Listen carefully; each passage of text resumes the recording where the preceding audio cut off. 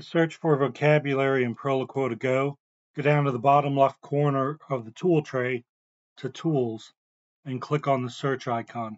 It shows us recent searches here, but the search keyboard will pop up and we'll go ahead and enter a search term.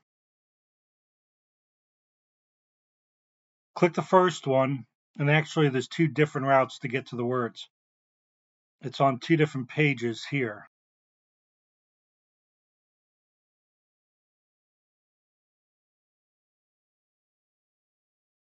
Warm, As usual, I like to practice that a couple times.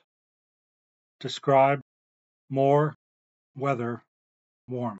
warm, I mentioned earlier that search results can be simplified by removing those hidden in storage vocabulary items. To do that, click on the options icon.